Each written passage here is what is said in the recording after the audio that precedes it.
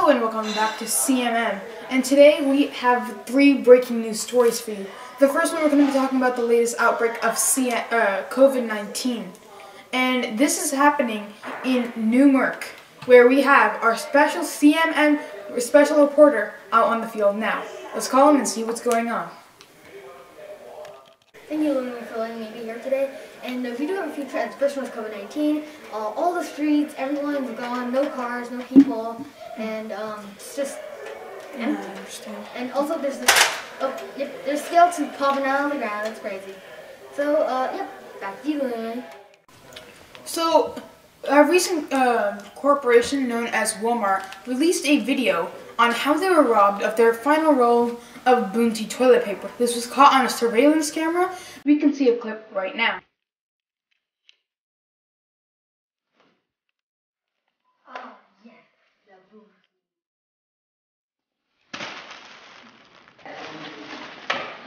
Hey, you, get back here. Wait, where are you going? Hey, no, don't, don't go. No, you can't, no, you can't just, no.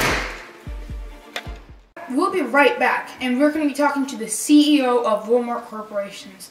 So make sure you don't leave yet and stay tuned.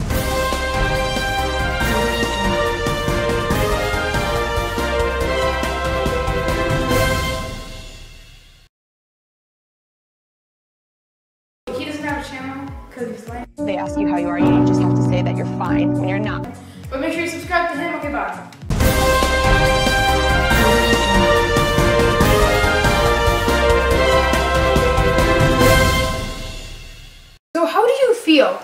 Your to- toilet paper going missing?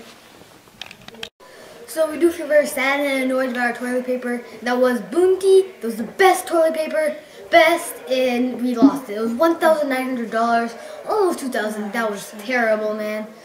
Kind of sucks. So we we did lose a lot of money, and we're gonna have to earn that back somehow. Okay, so we understand that. And your stocks must be heavily affected by this COVID 19. So, how do you plan to bounce back and kind of save yourself from this disaster?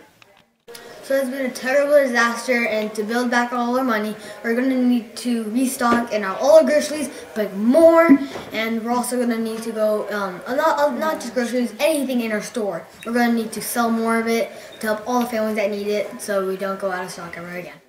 Well, thank you so much for joining us here, and uh, hope you had a good day. So, our next story is going to be about NASA and other scientists on their findings on how the world could possibly end sometime soon. So, don't forget to join us back, and we'll be right back.